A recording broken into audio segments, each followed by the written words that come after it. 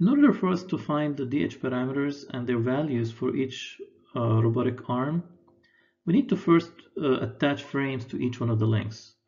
And to attach these frames, there's a very simple procedure here that we need to understand. And if we can understand that procedure, uh, it's very easy and systematic to go through all the frame attachments uh, and finding the DH parameters.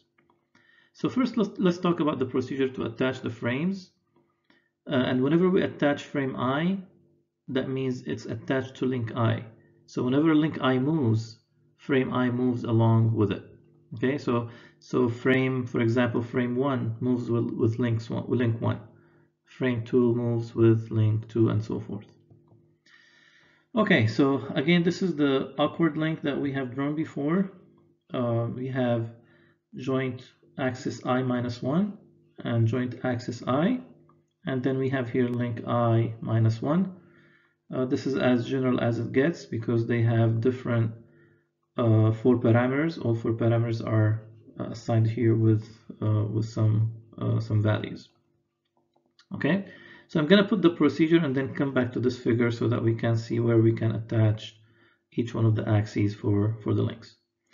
Uh, the way I'm to do this is we're to first take one axis at a time and then assign that axis for all the links. So let's say we, we take the z-axis first and then assign z-axis for all the uh, all the links and joints and then we go to the x-axis and then assign all the x-axis for uh, links and joints and then we go to the y-axis and then assign all y-axis to the links and joints.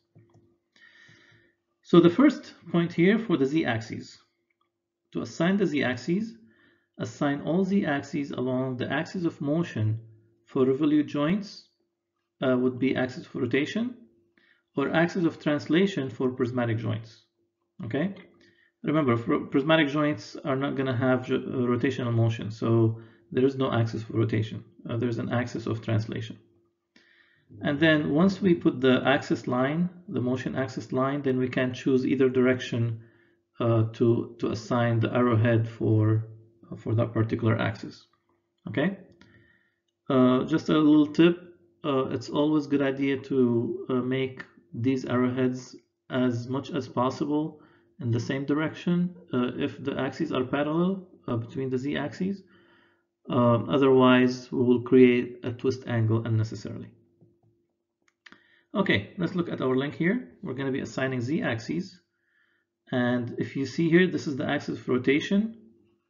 If it's a revolute joint, or if it's a prismatic joint, it's also the axis of translation for uh, prismatic joints, okay? So I'm gonna assign z-axis here along this line. And at this point, I can start anywhere in the line because I don't have an origin for my uh, frame yet, okay? So this would be zi minus 1. And then this is the axis, the axis of rotation or axis of translation if I have prismatic joint for axis i or joint i. Okay, so I can assign zi along this line. So I assigned zi starting from here, but remember so far I don't know where the origin of this frame is. So I put zi here along the uh, axis line uh, i and then zi plus uh, i minus 1 here along the axis i minus 1. Okay, uh, the second step is frame origins. How do we define the frame or origins? Uh, identify the common perpendicular between z-axes or the point of intersection between them if they intersect. Now, z-axes don't have to intersect, but they, if they do intersect, then identify that intersection point. If they don't intersect, then identify the common perpendicular between the z-axes. Now these intersections will be the frame origins. So the intersection of the z-axes will be from origins. If the z-axes don't intersect, then the intersection between the z-axis and the common perpendicular would be the origin uh, for the frames. So let's see how we can look at this here. So this is here axis i minus 1 and this is zi and this is axis i and the common perpendicular between these two axes is this line if you guys recall okay so this is the common perpendicular and if I look at this this is zi and this is this was the common perpendicular between zi and zi plus 1 that I did not draw here. So this is one common perpendicular and this is another common perpendicular. So that means my origin is right here. I just uh, put this here common perpendicular. So my origin for frame i minus 1 would be right at this point, the intersection between axis i minus 1 and the common perpendicular with the next axis. And this point would be the origin for my frame i, which is the point of intersection between axis i and the common perpendicular between this axis and the next axis. Okay, so that would be the origin of i, and this would be the origin of i minus 1. Now, assigning the x-axes, assign all x-axes starting from the frame origin that we just uh, found out, and then pointing towards the next joint. So I have to look at the next joint axis and ha it has to be pointing towards the next joint axis. So the arrowhead for the x-axis uh, cannot be arbitrary uh, unless you know there are some um, you know uh, special um, cases where it, it, it, can be arbitrary. Uh, but at, at, least at this point, uh, it has to be pointing towards the next uh, axis common perpendicular. And then if z-axes intersect, then the, the x-axis should be the normal to the plane that contains the two z-axes.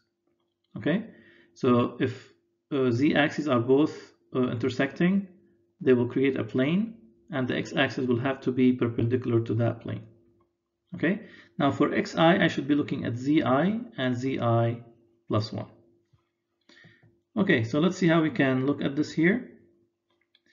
Uh, this is the first common perpendicular between zi minus 1 and zi. So that means my xi minus 1 will have to be along this line. Okay. Now since uh, zi minus 1 and zi do not intersect, that means I have to be pointing from uh, zi origin, uh, I'm sorry, zi minus 1 origin towards axis i. Okay, so this will have to be my xi minus 1. And same for here, I will start with the origin of uh, i, and then I'll have to go along the common perpendicular that goes to uh, i plus 1 and it will have to be pointing also towards the next joint. Okay, so if I implement this, I will have my xi minus 1 here, pointing towards axis i, and starting from the origin of, of i minus 1. And then xi will be right here, starting from the origin of i and going towards axis z i plus 1. Now for the y-axis, assign all y-axes to complete the right-hand rule. Uh, the best way to think about the right hand rule is you can hold your hand flat, flat open, okay, and then point your thumb towards the, the z-axis, all right? And then your four fingers should be pointing towards the x-axis. Now, if you move your four fingers 90 degrees, that would be the direction for the y-axis, okay? So the thumb is towards the z-axis positive, where the arrowhead is, and then your four fingers towards the x-axis uh, again positive where the arrowhead is. And then if you move your fingers 90 degrees that will be, that will be the direction for the y-axis. Now let's see how we can see this. So if I put my thumb towards again I'm using my right hand uh, the thumb towards uh, the direction of z and then my four fingers towards the direction of x then if I move my four fingers towards uh, 90 degrees, that would be pointing downwards in this case. So that would be my y-axis going downwards. Okay, same with this. If I point my thumb towards the z-axis and then my four fingers towards the x-axis and then move my four fingers 90 degrees, that would be giving me an axis right here for the y direction. So if I implement this, I'd be drawing the y-axis here and the y-axis here for yi minus 1. Okay. Uh, now let's talk about frame 0. Frame 0 is kind of unique because it's the ground frame. Um, and for me, it's, you know, I can assign, anybody can assign the frame 0 arbitrary because it's the ground frame. You can assign it anywhere you want um, as long as it's attached to the ground. Uh, attached to the ground meaning that it doesn't have to be physically attached. It can be above the ground, but you know, it's you already know that this doesn't move. It's always with the ground.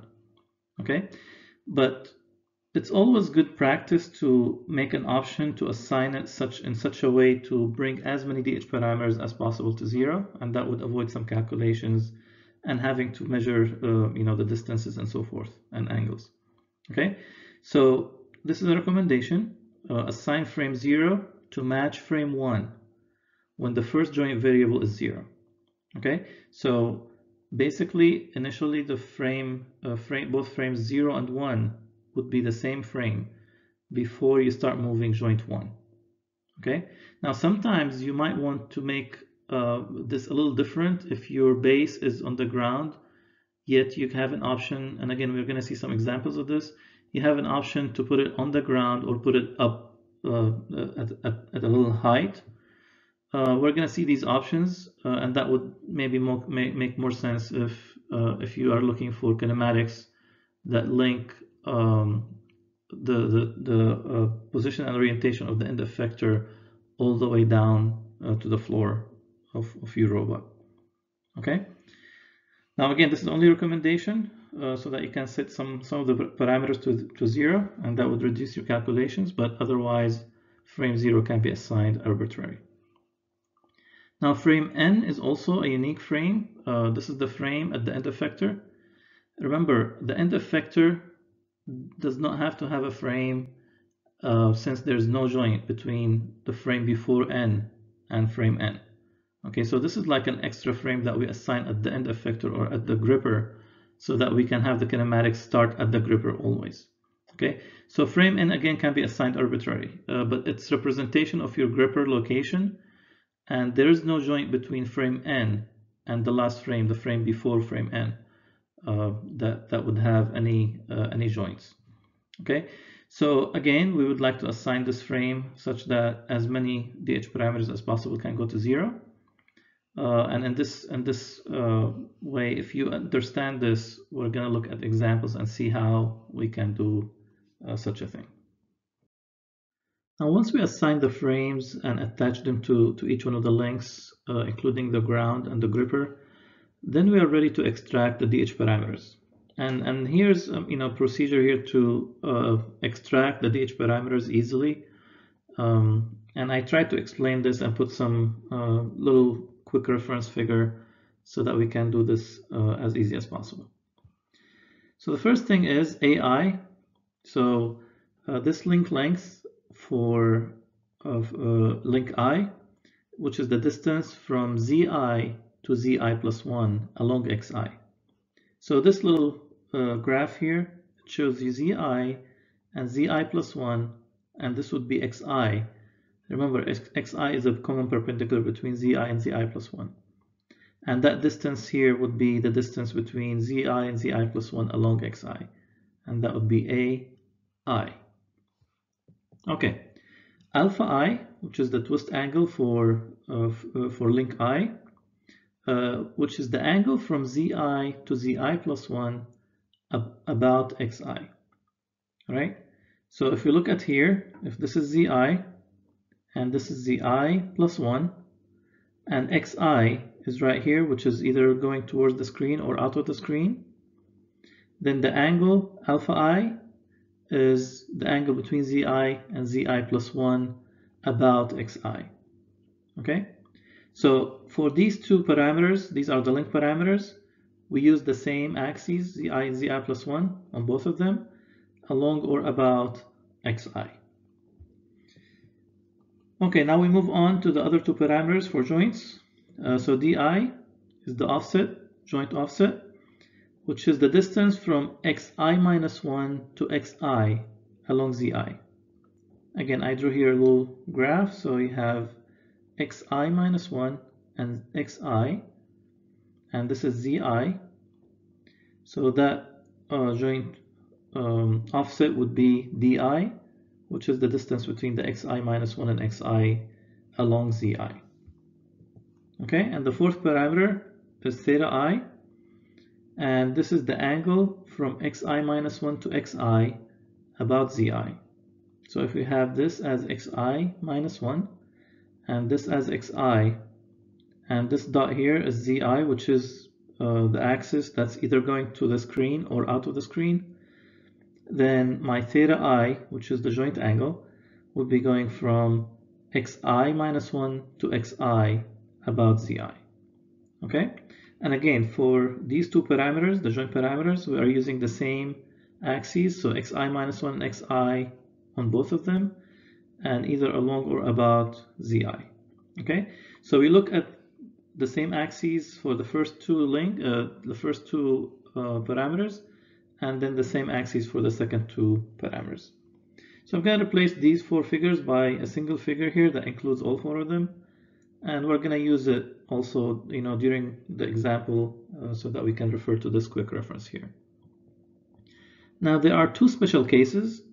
The first special case is when joint axes zi and zi plus 1 intersect okay? So if they intersect that means that the common perpendicular uh, basically can be uh, you know a line that goes you know along the intersection.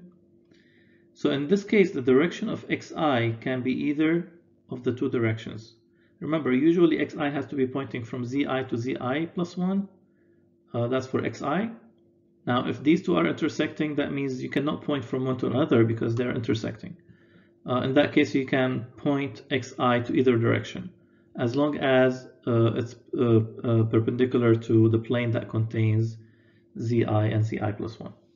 So that's one special case. Another special case is when uh, joint axes zi and zi plus 1 are parallel.